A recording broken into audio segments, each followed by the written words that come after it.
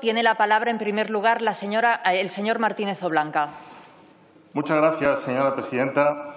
Vuelven los dos partidos que integran el penoso y pésimo Gobierno de coalición PSOE-Podemos a la utilización perversa del Congreso para tratar de enfangar a sus adversarios políticos, objetivo primero y último del cónclave inquisitorial disfrazado bajo título de Comisión de Investigación.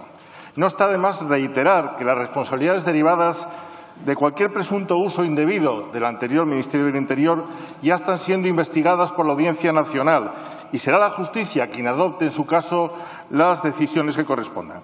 Eh, rechazo, por tanto, esta funesta fórmula que reconvertirá el Congreso en pasarela de políticos opositores a los que lanzar todo tipo de invectivas y hacerlos objeto del lacerante pim pam pum de vocación patibularia. Cabe señalar que incluso antes de registrarse esta embestida, sus promotores ya anunciaron que uno de los comparecientes sería el principal líder de la oposición, el señor Casado, que no ha tenido nunca responsabilidades de gobierno, lo que nos da una pista de cuáles son las auténticas intenciones y propósitos de las pesquisas de estos inquisidores. Señorías, desde esta tribuna ya me he referido en alguna otra ocasión a Jovellanos, uno de los españoles extraordinarios que está evocado en el techo, en el medallón que decora el techo de este hemiciclo.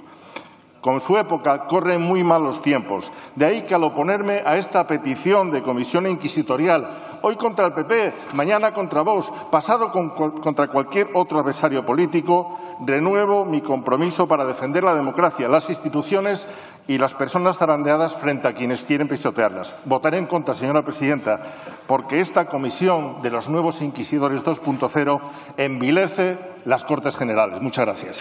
Muchas gracias, señor Martínez.